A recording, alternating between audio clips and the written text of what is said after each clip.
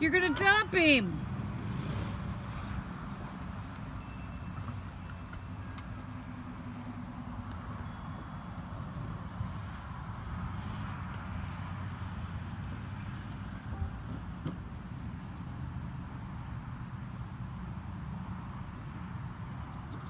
You're acting just like your uncles.